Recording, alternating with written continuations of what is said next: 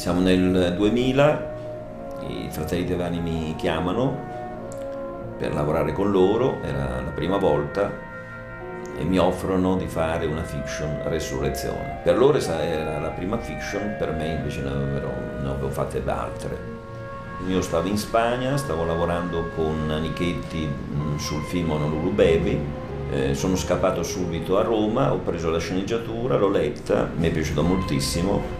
Nel frattempo mi sono letto Resurrezione di Tolstoi perché erano tanti anni. Devo dire che Tolstoi era uno scenografo, un arredatore perché descrive talmente bene gli ambienti che mi ha facilitato molto nel mio compito di, del lavoro, di costruzione, di arredamento. Abbiamo incominciato a operare a maggio del 2000 con eh, i nostri sopralluoghi, siamo andati a San Pietroburgo, a Praga, a Bratislava, in Slovacchia.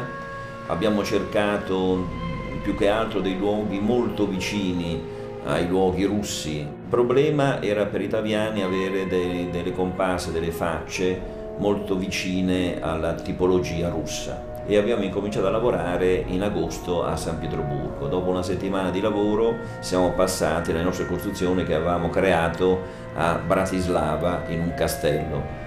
Più che un castello era quasi un teatro, un grande teatro, assomigliava molto questo castello nelle varie sale al Teatro 5 di Cinecittà. Abbiamo costruito le prigioni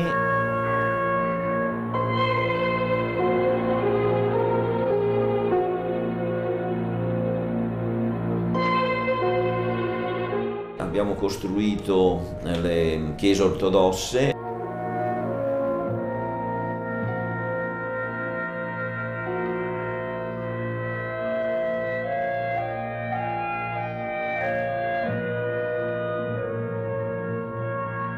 E abbiamo costruito anche l'ospedale all'interno di queste prigioni.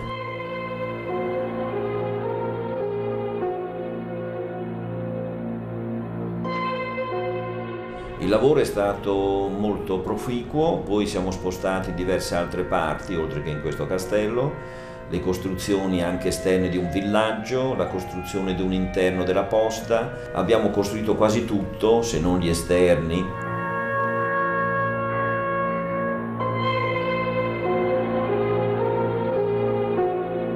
Siamo riusciti a costruire due o tre stazioni, mi è piaciuto molto questa fiction, eh, ha concorso al Festival di Mosca e ha vinto eh, un premio.